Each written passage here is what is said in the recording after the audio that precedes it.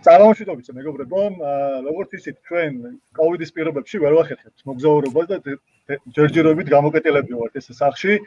და დაახლოებით 15 ივნისიდან დავიწყოთ ყველანი მოგზაურობა. შესაბამისად, სანამ მოგზაურობას დავიწყებთ, ჩვენ გთავაზობთ როგორც Friends for Seasons in Georgia-სთან ერთად ვირტუალურ მოგზაურობას საქართველოში.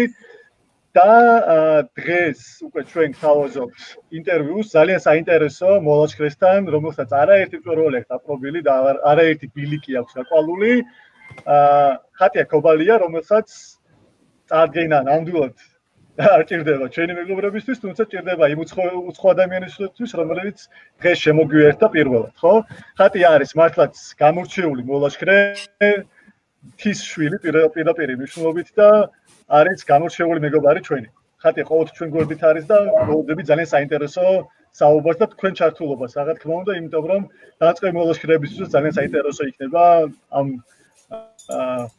ადამიანის მოსმენა. ჩემთვის პირადად ხატია არის ერთ-ერთი мотиваტორი, სიმართლე გითხრა.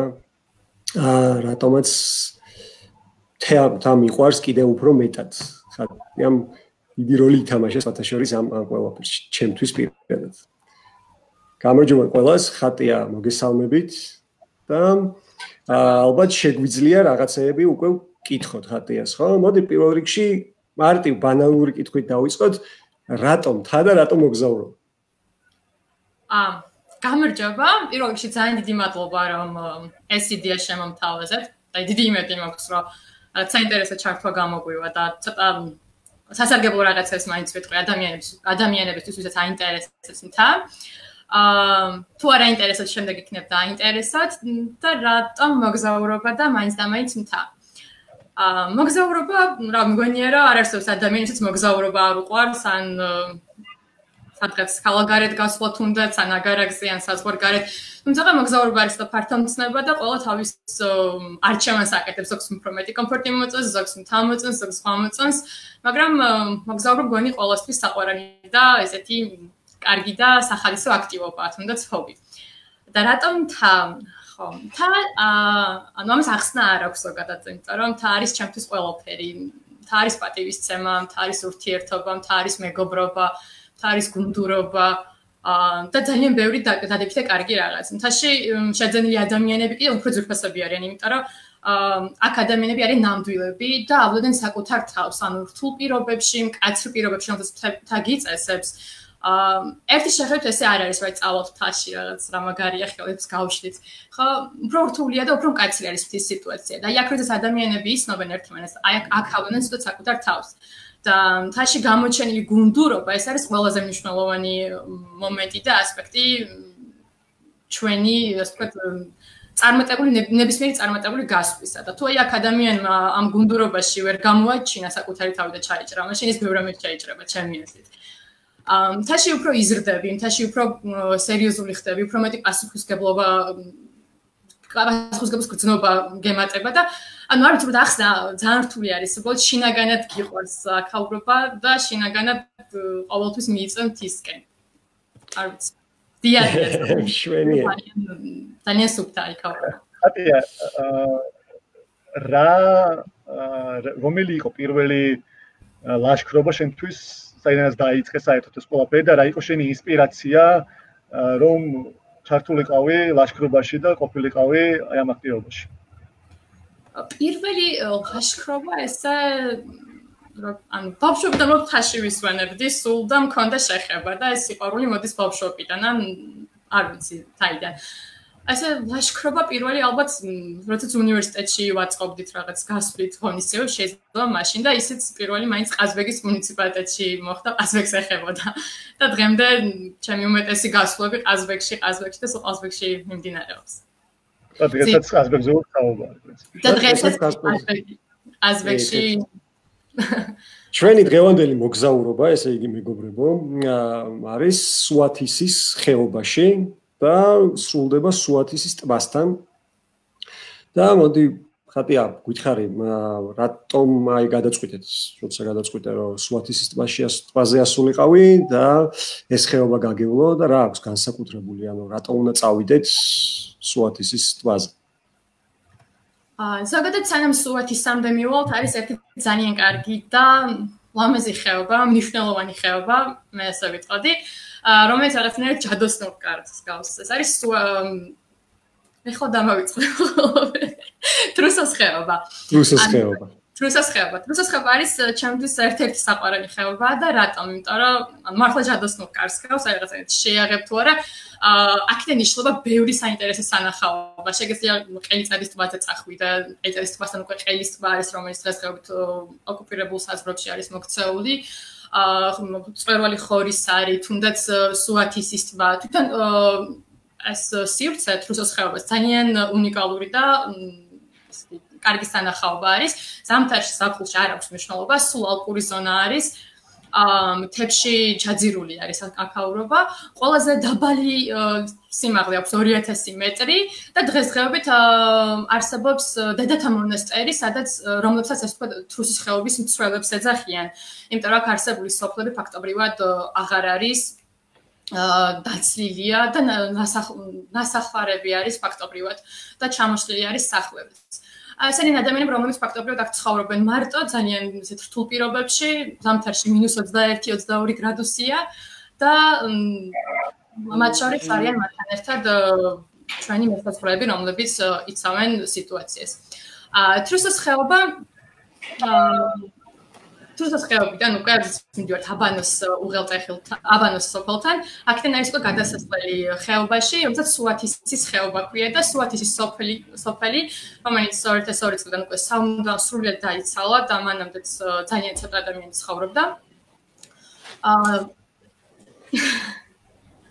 ძალიან ცოტა ადამიანი ცხოვრობდა. აქ ამ ხეობას უკვე სადაც კი ამ ხეობაში მდებარეობს, თითქმის ყველაფერ სუათის ქვია. სუათისის მყინვარი, სუათისის მყინვარული ტბები, სუათისის დინარე და რატომ სუათის? ეს დამირეკე გიორგი და ჩავარდებოდი თუ არა ამ ინტერვიუში. მაშინვე ბროდინ სუათისმა გამიელვა თავში და მეორე დღეს ვიფიქრე ვიფიქრე და ჩამოყავდი სუათისამდე, იმიტომ რომ ეს არის ჩემთვის ერთ-ერთი ყველაზე საინტერესო იური და საერთოდ გასვლა. საკმაოდ რთული და სამბეჭდავი.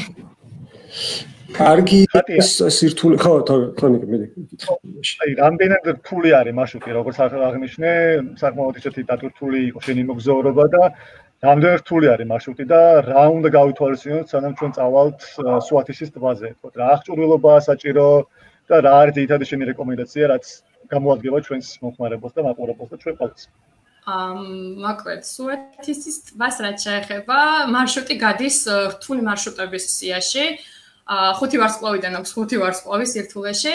ა ესე იგი სანამ ჩავ სუათისამდე მივიდოდით სოფელი კობიდან არის გადასასვლელი თრუსოს ხეობაში და სოფელ აბანამდე ჩავედით მარშრუტით და ორგანიზდა მწვანე ზებრას მიერ ეს გასვლა და უკვე თვითონ სასაზღვრო პუნქტიდან 10 კილომეტრი არის ტბამდე. პირველი 6 კილომეტრი არის ძალიან მარტივი, ფაქტობრივად ბილიქზე მოძრაობ, არაფერი განსაკუთრებული, არაფერი რთული, უბრალოდ ცოტა საფრთხილო არის მართლაც, რომ ასვლები, ჩასვლები, რაღაცა ცოტა არასწორი რელიეფი, არასწორი ბილიკი და აი ბოლო 4 კილომეტრიდან იწყება ცოტა რთული რელიეფი, სადაც გვიწევს უკვე ნაშალ კლდეზე სიარული, ნაშალ ასევე კლდეზე ცოტა ცოცვით პორტხვით არ ვიცი როგორ დავყო, მაგრამ ამ კლდეზე ასვლა, მდინარის გადალახვა და ბოლოს აი ამდენ დაბრკოლებას რომ გადიხარ, აი ამდენ სირთულეს რომ გადიხარ, სამეთში ხვდები და ეს არის აი მთელი მთელი ინტერესი არის ეს რომ ამდენ რაღაცას გადიხარ, გადიხარ, გადიხარ და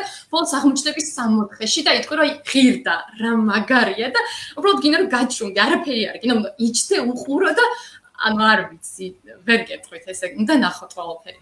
სირთულეს აჩეხ ხო, აი ახლა მაყურებელი ხედავს ასევე იმ სატელიტურ რუკას და იმ მარშრუტს, როგორ მივდივართ ჩვენს ვათისის ტბამდე, ხო? კი. აა და ასევე დააშორეთ აკო. დააშორე პირიქით, რომ შორიდან ხო.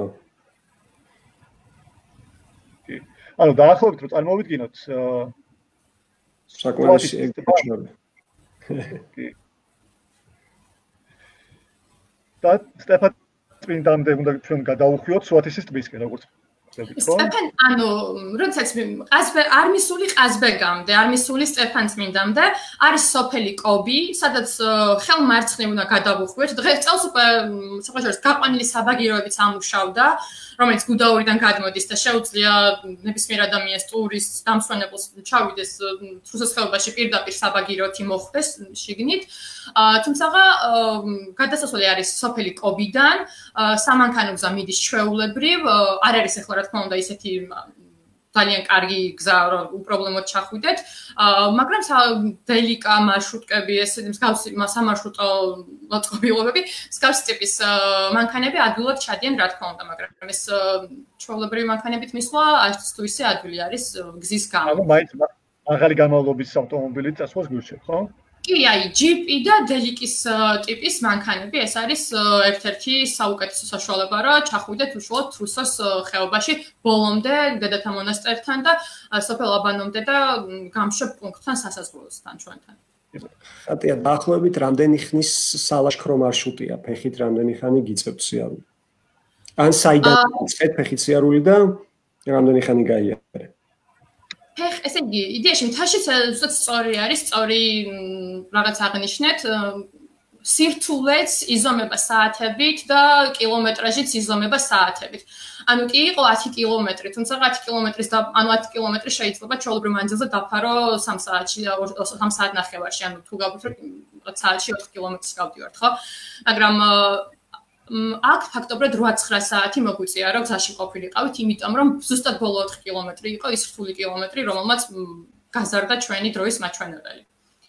რა იყო ერთადი აღჭურვილობა, რასაც თქვათ ურჩევდი რომ წავიღოთ ჩვენ სუათისის ტბისკენ. ზოგადად არა მარტო სუათისის ტბაზე, არამედ ნებისმიერ გასვლაზე ანუ სალაშქრო გასვლას გულისხმობდა არა საალპინიადო გასვლას ამ შემთხვევაში. აა პირველ რიგში რაც არის თავარი, ეს არის საჭირო ფეხსაცმელი, რომელიც არის ყველაზე მნიშვნელოვანი, ყველაზე კომფორტული, უნდა იყოს, იმიტომ რომ ანუ ფაქტობრივად არის გადაადგილების საშუალება და თუ კომფორტულად არ გზნობ თავს, თუ კარად არ გზნობ თავს, თუ არ ანუ არ გზნობ რომ კარგად კარგი მოჭიდება აქვს და მსგავსი რაც ესაჭიროება სიარულის დროს აქტივობაც ასე ვთქვათ. აა ეს არის ფეხსაცმელი პირველი. შემდეგი არის უკვე ზურგჩანთა, რომელიც ამდენი კილომეტრი უბრალოდ ზურგით უნდა ატარო ეს ჩანთა და ჩანთის სწორი გადანაწილება, რაც კარგი ჩანთა და კარგი ფეხსაცმელი გაქვს, უფრო ადვილი და კომფორტული არის ნებისმიერი მოლაშქრისთვის ა პუნქტიდან ბ პუნქტამდე გადაადგილება. ასევე სალაშქრო ჩანთების შემდეგ რაც გჭირდება, შესაბამისი სამოსი კარგი იქნება თუ ანუ ღამის თევისთვის თერმული ტანსაცმელი გვექნება, რომ თქვა ღამე მაინც ცივა მთარი და მთაში სულ ზამთარია, მთაში ეხლაც კი ზამთარია, ჩვენთან კი ცხელა და კარგი ამინდია, მაგრამ იქ ეხლაც ზამთარია. აა და ხალხის რეალებს რაც თავარია და ძალიან ძალიან უწონს ეს ყველაფერი. აა და თბილი ტანსაცმელი ზამთრისთვის საკვები პროდუქტი, რაც შეძლო ჩატა, იმიტომ რომ ჩანთა არ უნდა იყოს ძიმე და შემაწუხებელი. პირადი აფთიაქი არავინ ისის როდის რა დაგვემართება, მაგალითად, სოთის ტბაზე გასვლაზე ესეთი ფორს მაჟორი მოხდა, რომ გზაში დავიწყე გაციება და ღამე თანამეკარო მითხრა, რომ ფაქტობრივად ძალიან სწორ ყოფილვარ და დილით რო გავიგუძე სიცხე მქონდა, ფოტოებს კი არ ემჩნევა, იმიტომ რომ ძალიან მეყვარს ფოტოების გადაღება. აი, ისეთი რომ მაინც ვირვი. აი, ფოტოები ინსპირაციულია. და ფოტოების დროს დამავიწყე რომ სიცხე მქონდა, მაგრამ ანუ არასდროს არ ვსწრედის რა მოხდება. შეიძლება ფეხი გავიჭროთ, ხელი გავიჭროთ, შეიძლება უბრალოდ აკლიმატიზაციას ვერ გავუძლოთ, იმიტომ რომ 3211 მეტრი იყო ჩვენი მაქსიმალური სიმაღლე, რაც დავფარეთ და ძალიან სწრაფად მოგვიწია აწევა სიმაღლის. აა და ამიტომ ძალიან კარგი საშუალება არის რომ ეს პატარა აფთიაქები თან მქონდეს. Ну საკვები პროდუქტები გემოვნებდნენ გამომდინარეობს, მაგრამ თუ გექნებათ თან ვაშლი, სნიკერსი, ჩურჩხელა, ნოყიერი საკვები, ეს არის ძალიან კარგი, მე ენერგიას გაწევთ. წყალი, წყალი მარშრუტზე თითქოს სულ არის, თიდან მოდის ნაკადულები, მოდის პატარა ჩანჩქერი, ანუ პატატუნა და ამით ვსარგებლობთ ყოველთვის ამ იდეაში არაზრს სულ არავინ არ გამხდარა და არც არაზრს არავინ სულ არ გახდება, და სულთა წყალია მაინც ის არის და და მთავარი რჩება რომ ბუნებას მოვაქცეთ უბრალოდ კარგად. არ დავტოვოთ ჩვენი ნაგავი, ჩვენი რაღაც სეგმენტი ნიფები და თუ სხვისით შეგხვდება, ჩვენს ჩანთაში შეგვიძლია ჩავილაგოთ და წამოვიღოთ, იმიტომ რომ ეს ისეთი სიმდიდრეა, ესეთი უნიკალური ბუნებაა, რომ ზოგადად არ შეიძლება გარემოს დაბინძურება და თუ მოხდებით და ვისაც შეხვდებათ სხვის მიერ გაფუჭებული რაღაც საქმე შეგიძლიათ რომ თქვენს წამოიყოლოთ, ჩვენ ყველა ყოველთვის ასე ვიქცევით. სწორი სწორი საძილე რაც თავარია. გასქურაც უნდა წაიღოთ კი რა გვიან გამახსენდა იმიტომ რომ შეიძლება წყალი წესადურება მოგინდეთ ჩაი ყავა არ ვიცი არის ამის საშუალება პატარა გასქურების წაღების და დილით შეგძეთ ყავაც მიირთვათ აი ამ ძალიან არემოშე ადან თავარი ამ ფოტოჩქარ უკიდნიერესი ხო კი მე მაგალითად ვერ ხედავ რომელ ფოტოზეა ახლა საუბარი და შეიძლება მე ჩამოვრჩი კადრს. ა ჩემთანაც ტბის მთის და კარვების ფოტოები ჩანს. აა, ცოტა გიალმოდის როგორ ჩანს? კი. აი, კითხვა არის, კი, საშვი საჭირო. კი, კითხვა არის საშვზე. საშვი საჭირო არის. დაახლოებით ერთი კვირით ადრე მაინც უნდა მოხდეს მონაცემების და ინფორმაციის გადაგზავნა მესაზღვრეებთან. ადგილზე უნდა იქონიეთ პასპორტი ან პირადობის მოწმობა, იმიტომ რომ აი სასაზღვრო სივრცეში ვართ და გვინდა თუ არ გვინდა, ესე უბრალოდ გადაადგილება მათი ნებართვის საშუალების გარეშე არ შეიძლება. და რომც დავიკარგოთ ან რაღაც გააგვერიოს, ეცოდინებათ ამ ადამიანებს, რომ ჩვენ იქ ვართ და შესაბამისად უკვე წანადულად მოხდება ჩვენი მოძებნა. სად ვიღებთ საფრთხეა? ზუსტად ფიდიში. ადგილზევე სასაზღვრო გამშვებ პუნქტთან უკვე შეგიძლიათ საფალაბანოსთან კი. სადაც ჩვენი მესაზღვრეები არიან. ანუ რამდენიმე ადგილს ადგილზე არიან ხოლმე, მაგრამ გააჩნია როდის სადარიან. სამთარში ძირითადად დასაწყისშივე არიან, იმიტომ რომ მარტში ვიყავით, მარტის დასაწყისში 3 წლის წინ და წინვე დახვდნენ და წინვე იყვნენ. ეს არის სოფელი სუათის. აი, ხა თორნიკე გამოჩნდა სოფელი სუათის.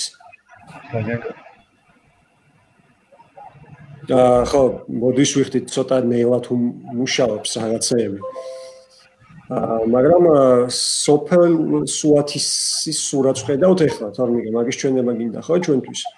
კი ეს არის სუათისის სოფელი. ხატი ახლა არ გვეტყვი ამ სოფლის შესახებ ამის ანუ ბერს სიმბოლიკად ვერფს ვერ გეტყვით ერთადერთი ეს არის ძალიან ცოტა ადამიანი ცხოვრობდა თავიდანვე და 2002 წლიდან სოფელი არის დაცარიელებული, მიტოვებული და დღესდღეობით ერთი ადამიანის კი არ ცხოვრობს იქ. და ეს სახლები არის ესე დატოვებული ის კოშკი, რომელიც იქ ჩანს და დიაში ძალიან კარგი იქნება თუ მოკიდებს ხელს მემკვიდრეობა ვისაც აქვს და თუ ვერ დაუბრუნდება რაღაც დროს მაინც გაატარებენ ამ ტერიტორიაზე, იმიტომ რომ ამ ხელოსივცი არის ძალიან მარტო ძალიან მიტოვებული, საკმაოდ ახლოს გარკვეულ საზღვრებთან და ზოგადად თა არის ერთ-ერთი დაცვა ჩვენი და მეგონია რომ ის ტერიტორია მაქსიმალურად უნდა ავითვისოთ ისე ჩვენ და არ შეიძლება ამ სივრცეების ისე მარტო დატოვება. აა ძალიან ადვილად საუბრობ აქედან, მაგრამ დართული იყოს იქ ცხოვრება და რაღაც. საერთოდ თუ გინდა საერთოდ უნდა რომ საკუთარი ქვეყანა შეიყვარო, უნდა შემოიარო. ფეხით, ნახო რა გაქვს, რა გეკუთვნის შენ და რასაკვირველია, იქიდან გამომიო საქართველოს მთიანია, მთაში უნდა ახვიდე და ეს ყველაფერი ნახო და ამ ყველაფერს ეზიარო. სხვანაირად მე ვთვლი რომ საქართველოს ვერ შეიყვარო. შაშა ხოდა მაგალითად იქნება უბრალოდ რა არის შენ. აა მაგდას აქვს ერთი კითხვა, ერთ დღეში ახვედით და მე კი, ანუ ერთ დღეში ავედით და მეორე დღეს მეორე დღეს ავეშვით უკან, ანუ ერთი ღამე გავაცენეთ კარვებში სუათის ის მყინვარულ ტბაზე, ანუ ტბაზეც ვიტყვი ერთ ორ სიტყვას, რომ ანუ ეს ტბები შეი ახალია, ახლა დაბადებული ტბები არის, ტბა არის და იქნება მყიფთ მყინვარიდან ჩამოსული ყინულით და თოვლით რომელიც ძნება და რომელიც მოედინება და მოედინება. რამდენიმე წელში უფრო ლამაზი იქნება, იმიტომ რომ გაიზრდება და ფერიც სხვა მი სხვა სხვა იქნება. ეს არის მზის ჩასვლის პერიოდი, რომელიც ხა კარში ჩანს. არა შეიძლება ასვას დავუბრუნდები, გამთენის 5 საათზე გავედით ქალაქიდან, იმიტომ რომ დრო მოგვეგო. და რავი რა კობთან 1-3 საათი მაქსიმუმ არც კი 2 საათი დაგჭირდა რა ჩავსულიყავით და მე რა იქიდან უკვე ძალიან ადრე დავიწყეთ გასვლა. და დრო მოგოგო როგორც თბილისიდან ისე რომ დავაზუსტოთ მაყურებლისთვის სექტემბერში იყავით ხო? ა სექტემბერში ვიყავით და მთავარი სანახაობა რაც იყო ართოვდა ძალიან კარგი ამინდი იყო ქსაში და დილით რო გავიღვიძეთ და ხუდა ეს სანახაობა ეს თოვლი და აი არის თოლის garaშე ჩემთვის სილამაზე არ არსებობს ანუ მე ეს ძალიან სუბიექტური აზრია ჩემი მაგრამ რა ვიცი, ფიქრობ რა ძალიან ხდება. რომელსაც დავიდე? სერიოზ ვირჩევდი, ხო? არის ესეთი კითხვა იქნებოდა ყველა. ზოგადად თაშის კარგის კარგი არის გასვლა და ნაყოფიერი ყოველთვის ნაყოფიერს გულისხმობ, იმიტომ რომ ამინდები ძალიან მნიშვნელოვანია და უნდა გვიწყობდეს ხელს იმისთვის, რომ გარკვეული მარშრუტი დაიძლიოს. საფული არის ძალიან კარგი. აა შემოდგომა და უკვე მაი აპრილი-მაისიდან, როდესაც იწყებს თოვლის ფაქტობრივად დამდნარია და გზა არის გახსნილი. აა ეს არის ძალიან კარგი დრო იმისათვის რომ გავიდეთ მთაში და მოვაწყოთ ჩვენი ლაშქრობები. თუმცა სამთაშიც ძალიან კარგი არის და საინტერესო მთაში მოგზაურობა, თუმცა არის მარშრუტები, რომელსაც უბრალოდ არ ღირს რომ გავრისკოთ ზამთარში გასვლა. მაგალითად, სუათისის ტბაზე რომ ზამთარში წახვიდეთ, შეიძლება ვერ წახვიდეთ, რაც არ უნდა კარგი აღჭურვილობა გქონდეს, იმიტომ რომ თვითონ თრუსოს ხეობაში, რომელიც 2000 მეტრზე არის და სულ ფაქტობრივად დაბლობი, ანუ ვაკე ტერიტორია არის და ალპური სივრცე არის, ანუ მარტშიც კი მუხლებამდე და ცოტა მუხს მაღლა უთავში მოგვიწია სიარული და გზის გაკვალვა. და ეს ძალიან მაღლა მდებარეობს იქიდან ვიდრე თრუსოს ხეობა არის. ამიტომ ზამთარში რთული იქნება. მაგრამ არის მარშრუტები, რომელსაც ზამთარშიც დავდივართ და რა თქმა უნდა დაცლებადია. აა, თქო ცოტა ხანი დააბრუნე ფოტოები უკან ხატია რომ წითელი კაბით არის, აი ეგ ფოტო რო გვანახო.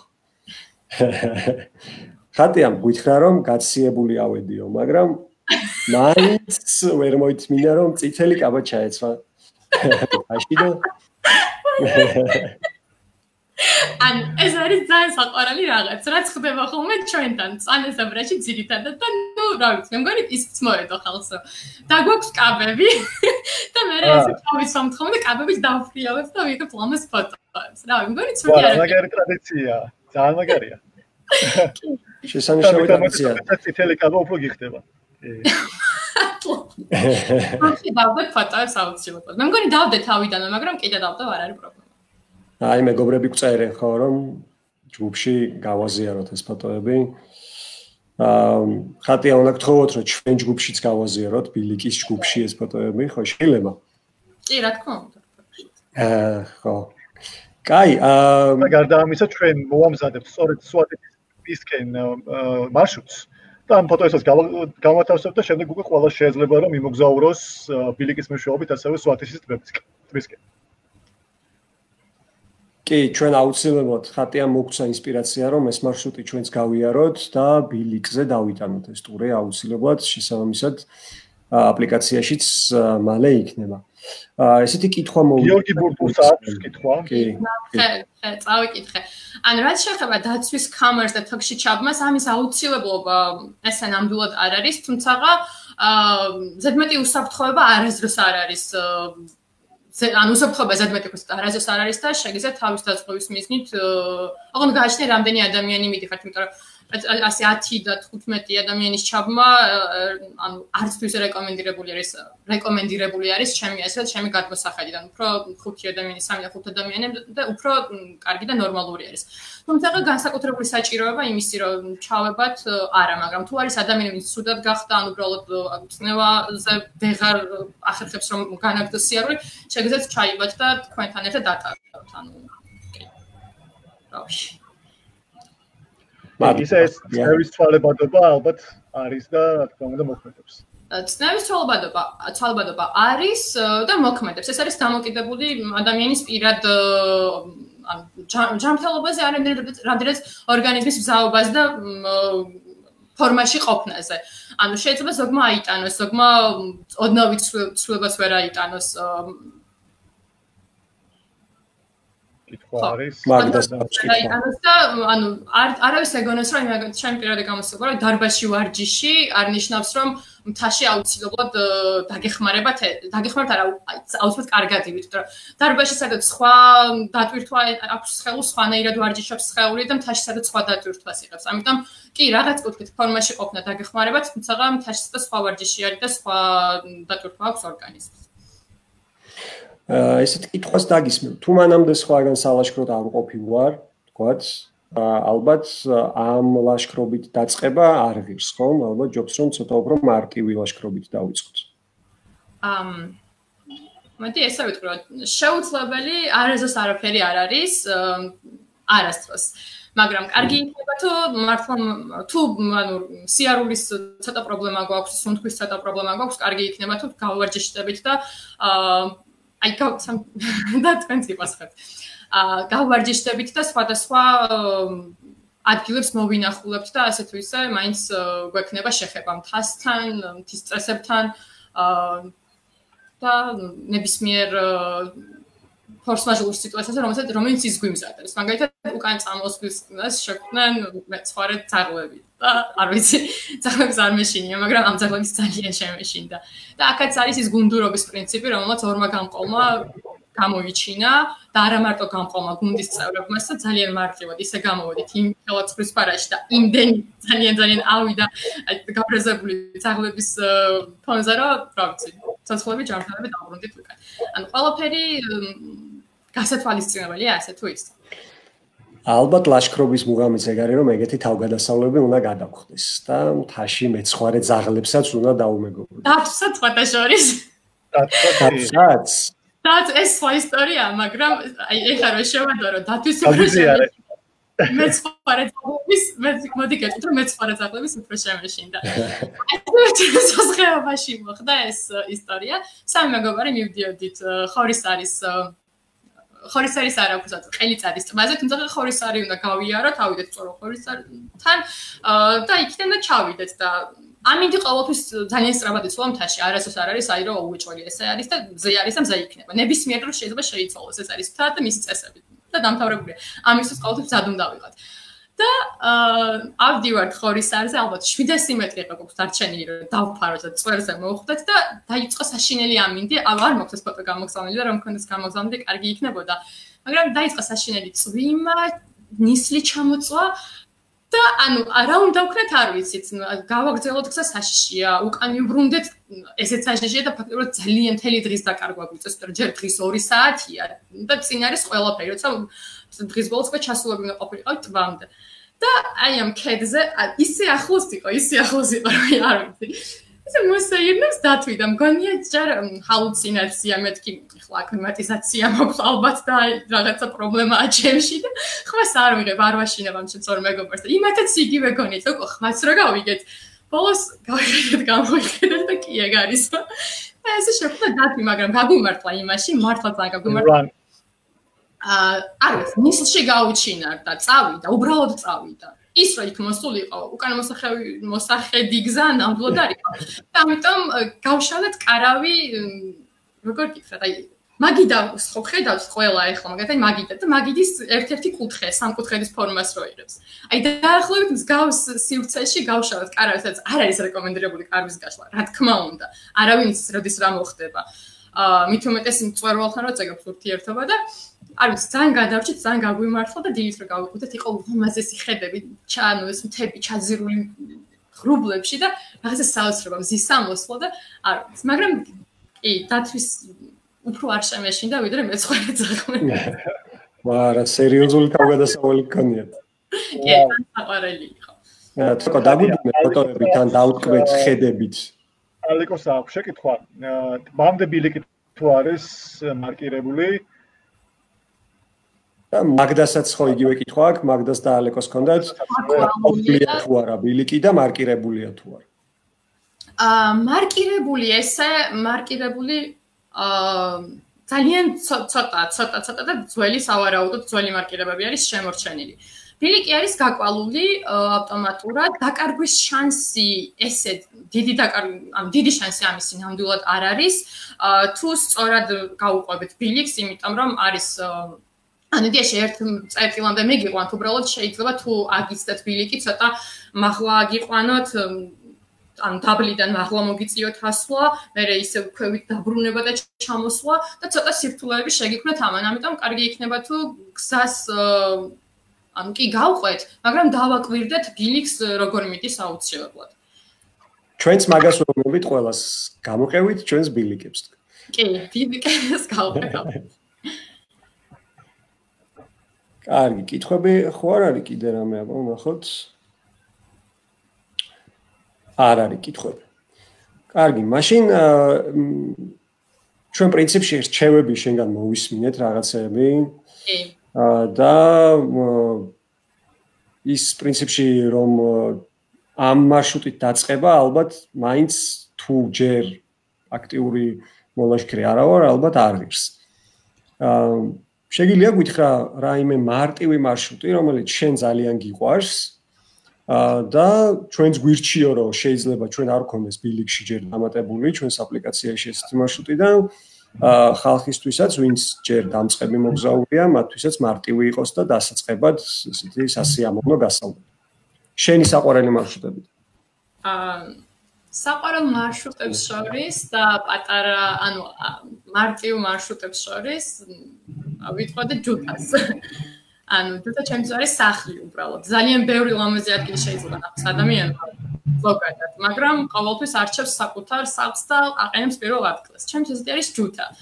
აა და ძალიან კარგი და საინტერესო თავგადასავალი იქნება დამწყებებისთვის თუ ჯუთადან გადავლენ უკვე აბუდელაურის ტბებზე და ჩავლენ. და აბუდელაურის ტბებიდან უკვე შემდეგ მოახერხებენ და წამოვლენ უკან დაბრუნდებიან თბილისში. ასევე საინტერესო ხევსურეთის მონახულება, შატილის მონახულება თუნდაც, თუშეთის მონახულება. სადაც არც თუ ისე ბევრი სიარული გჭირდება, თუმცა შეიძლება რომ სოფლიდან სოფლამდე არიან ადამიანები, რომლებიც ამ ხელამდენ კილომეტრებს მანქანის მაგალითად ფეხით ფარავენ და გადიან გზას. ასევე შეიძლება აღმოჩნდეთ თუშეთიდან ხევსურეთში მაგრამ ეს რთული რთული გასავლელი მანძილი არის ძალიან ეს ვეთქე. აი ერთ დღიანი ტურები რაც შეიძლება რომ დაიგეგმოს და მოხდეს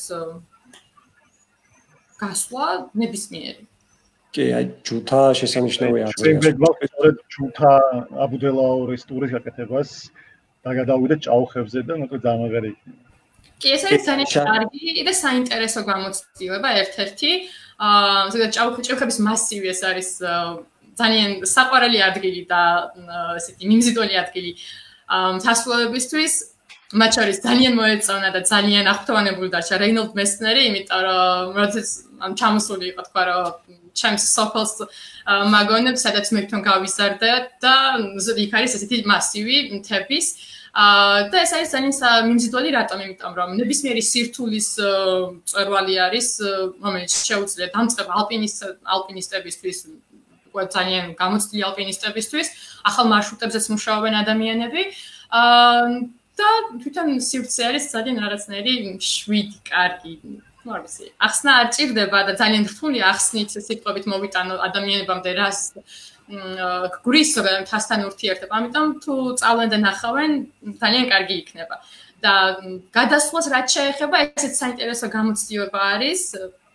იმიტომ რომ გიწევს გარკვეული მონაკვეთი მონაკვეთი როგორ წვერვალებთან ცოტა ახლოს ხარ ოღონდ იქით მარცხენა მხარეს და კარგად უყურებ უბრალოდ ამ წვერვალებს და შეგიძლიათ აი ამ თაზე ახვიდეთ ჩახვიდეთ მე დაბლო სადაც დაგხვდება სამი საინტერესო და ლამაზი ტბა ასევე. აა და რა ვიცი არც იქით მხარე არ არის დასაკარგი. ჩვენ ჯუთაში შარშან ჩვენც ვიმოგზაურეთ და ძალიან თბილი შტაბეშტილებები და დაგვიტოვა სასიამოვნო და წელს გვინდა რომ გავაკეთოთ ის მარშრუტი და ბილიგზეც გავათავსოთ ჯუთა აბუდელაურის ტბები ძალიან კარგი იქნება, სხვა შორის ადრეც გითხარით, რატომ იქნება კარგი და კიდევ განმეორდები. მიუხედავად იმისა, რომ ძალიან ანუ ძალიან მარტივიც ესე მიდგომა მთებთან არ შეიძლება, ჩემი აზრით, ჩემ კაცრი ვარ, მე თვითონ შეფთავ თავის შეფასებაში არ ვიცი, მაგრამ მარტივი მარტივი არაფერი არ არის უბრალოდ ანუ დასაძლევად ისე რთული არის ჯუთა აბუდელაურის გზა თუმცა და მიუხედავად ამისა, ადამიანები მაინც აღიარებენ, რომ დაიკარგონ ძირითადად უფრო უცხოელები, რომლებმაც არიციან მარშრუტი, არიციან გზა, მარკირება არ არის, აქეთ უბრალოდ ფილიქს უნდა გაყვე და თუ იქნება მსგავსი ანუ ბილიკი გაყვალული თქვენს აპლიკაციაში, ვფიქრობ, რომ ძალიან დაეხმარებით ადამიანებს. კი, ჩვენ ბილიკ ბილიკ გავუყვებით გზებს ნამდვილად. თამაშიც. აი ლეონ აფაჩიძეს აქვს და მაკა ხიზანიშვილს ძალიან კარგი კომენტარი და ლეონ ძალიან დიდი მადლობა და მაკა ნამდვილად საოცარი ადგილი არის გეთანხმებით. კი, საქაგორს მიღმა, ესეც ადვილი არის მართალია ძალიან აუცილებლად. ანუ ხო ვიცი ხე თრუსოს ხეობა ეს არის ჯადოსნური კარი რომელსაც რომ გახსნი ანუ არის ის თუ არის ის სადრა არის დარჩები თრუსოს ხეობაში რომელიც ასევე ძალიან კარგი არის. ხო ის მინერალური წყლები არის. და ზამთარში ეს მინერალური წყლები ამ თეთრ თოვლზე ისელომეზე ჩენ სელომეზე ჩენს რომ არის სუსუ კვას კვას წითელი თუ სტაფილოსფერია. და არის როგორც ამბობენ არის სამკურნალო და ერთი პატარა ისტორია გამახსენდა ახლა უძირო ტბა ყოფილა თუ არ ვწდები მარტო მე ვარ? ეხა გაშლი მარტო შენ. მოკლედ ვარ გავითიშე. აა უძირო პასიც ახლა უძირო რო გაქვს იდეაში რაჭაში მაღლა ონის კეს ანალი ფოტოი სოფენდან მაგრამ უძიროტბას რომელსაც ისტორია აქვს ესეთი რომ დათვი მოკლეს თუ არ ვწდები ნაპირზე და რო ჩავარ და ჩაიკარგა და ვეღარ იპოვეს და ეს თმა სანახავია თუმცა არც ერთხელ არ მინახავს რამდენიც ვიყავ აუცილებლად უნდა ნახოთ. ნახავთ აუცილებლად ეს არის. ერთადაც მოვახარ მოვახერხოთ ასო და რუსოს ხეობის დაპყრობა აუცილებლად გასაკეთებელი. და გადის ძალიან საფაშოთი ძალიან. ხო, შეგვიძლია ანუ შეგვიძლია რუსოს ხეობ რუსოს ხეობის გარშემო, ასე რომ ვთქვა, შეიძლება რამოდენიმე ძალიან კარგი მარშრუტის დაგეგმვა და გაკეთება. ფაქტობრივად ბევრი რამ უკავშირდება ამ გზას კი. რომ შევაჯამოთ, ესე იგი ბუნების ძეგლებიც ძალიან ბევრი არის, ანუ ბუნებასაც ვეზრიარებით. ტბებს, მდინარეებს, წყაროებს და ასე შემდეგ. კულტურული ძეგლიც არის, ხო? ეს ძველი სოფელი თავისი ციხე კოშკი რაც არის. და რაც ვარია ემოციათა სტაბილიზებას დიჯიტალებს ჩვენზე. ან ეს თვითონ ნაგებობები ძველი სახლები თვითონ ძალიან უნიკალურია და ფაქტობრივად ამის ნახვაც გეს როგორი ყოძელა დაშენებული ერთ გამოიყურება ეხლა ასევე მონასტერი დედათა მონასტერი რომელიც ვახსენე და ეკლესია მონასტერი რომელიც აქ მდებარეობს ეს კოშკები კი ძალიან დიდი და მნიშვნელოვანი და ისტორიული დატვირთვა აქვს ამ ამ ხარეს და ამ ადგილს ფაქტობრივად აი სოფელი ყოველს დავუბრუნდით ამ ფოტოს. კი, და და ეს არის სოფელი, რომელზეც ჩვენ საუბრობთ ახლა. კარგით. კითხვები ჩვენს ამოგვეწურა და ჩვენს გონი კითხვები აღარ არის. ერთ-ერთი ის გადაგვჩენია რომ ჩვენ აუდგეთ და ვიმოგზაუროთ, როგორც კი როგორც ამის შესაძლებლობა. ხატია ძალიან დიდი მადლობა. არა რა მადლობა პირიქით. აა და იმედი გვაქვს რომ კიდე გამონახავ დროს რომ თორნიკე დააბრუნე ყველა, ო, აი, ყველა ჩავართ ახლა, რომ უკვე ნელა ხატიას დავემშვიდობოთ და ჩვენს მსმენელს და მაყურებელსაც ძალიან დიდი მადლობა რომ დაგვიწმე დრო და გაგვიზიარე შენი ემოციები. მე პირადად უკვე ვიცი რომ წელს თრუსოს ხეობაში აუცილებლად შევალ და სუათის სისტემაზეც აუცილებლად ავალ. ეს გადავწყვიტე უკვე ძალიან მონდომებული ვარ. ერთ-ერთ მარშრუტად ავირჩევთ აუცილებლად და იმედი ვაქვს რომ შენ ლამაზა და გემრიელად გადმოსცა ეს ყველაფერი, რომ მართლა უნდა ავდგე და ვიმოგზაუროთ ამაზეა. ის ლამაზად გადმოგცა ხათი ამ ეს ისტორია. აა იმედია მართლა საინტერესო იყო არ ვიცი. კი, კი, ნამდვილად საინტერესო იყო და დიდი მადლობა შენ ხათია. კი, ჩვენ ხანდახან გავაკეთებთ ხოლმე ესეთ ლაივ ჩარტებს სხვადასხვა მოგზაურ ადამიანებთან ერთად, უკვე გეგმავთ რომ სხვაებიც მოუწვიოთ, თან ამავდროულად გავაგრძელებთ ჩვენს აა ვიდეო სერიებს, რაც მანამდე გქონდა გაკეთებული იმოგზაურე საქართველოსი ვირტუალურად. მანამ სანამ ინტერვიუასთან ერთად, როგორც ისე ჩვენ ვაკეთებთ ვლოგებს ყოველდღიურად. კი, მანამ სანამ სახლიდან გაგვიშვებენ ვირტუალურად გავიაროთ ხოლმე ჩვენი გავლილი მარშრუტები და ყოველ შაბათს ისევ ხან ლაივ ჩართვას, ხან ჩვენს ვიდეოებს შემოგთავაზებთ სხვადასხვა სტუმრებთან ერთად. ხატია ძალიან ხატია დიდი მადლობა და გისურვებ ჯანმრთელობას. მიერად. წარმატებები, აბა. წარმატებები თქვენ. მიმოგზაუროთ ერთ-ერთ საქართველოში, მეგობრებო. კი.